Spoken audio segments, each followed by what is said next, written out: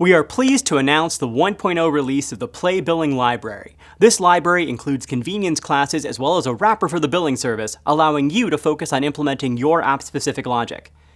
To use the library, begin by adding the following dependency in your build.gradle file. The next step is to create a billing client instance. You'll use this class for interactions with the in-app billing API, including listing available products, starting the billing flow for in-app products or subscriptions, opening the Google Play payment screen, getting users' purchases, and creating or modifying subscriptions. When creating your billing client instance, you'll need to set a purchases updated listener. This allows your app to receive updates from the in-app billing API like transaction results and updates from payments started in other devices. Here's the code for creating the billing client remember that it's required that you set a Purchases Updated listener.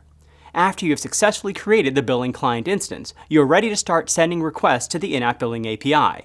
It's just a few lines of code to get the details about a SKU or to start the purchase flow.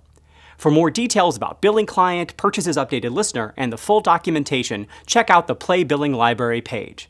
If you want to see a step-by-step -step guide about how to implement the Play Billing Library in your project, visit the training class.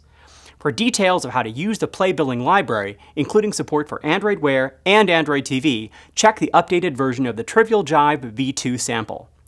We also prepared a blog post as a quick start guide. And don't forget to check out all the docs. Thanks for watching.